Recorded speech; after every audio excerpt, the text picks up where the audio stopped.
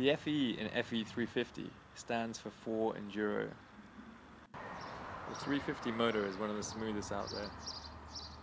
It has loads of torque down low and it revs to the moon. It's very easy to ride.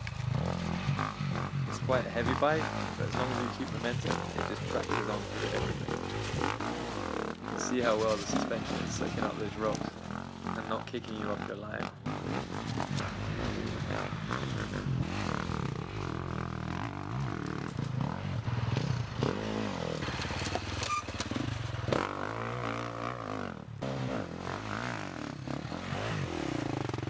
Husqvarna FE350 is certainly an enduro bike, but it's equally at home on a motocross track.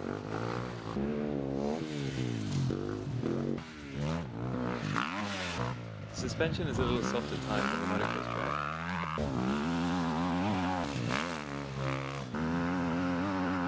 Unless you're a pro, this might actually be an advantage.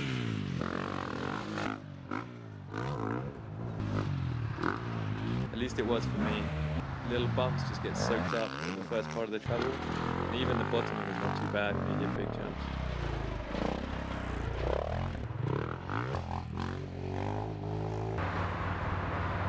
If you're looking for one do-it-all dirt bike, the Husqvarna FE350 is definitely the best option on the market right now.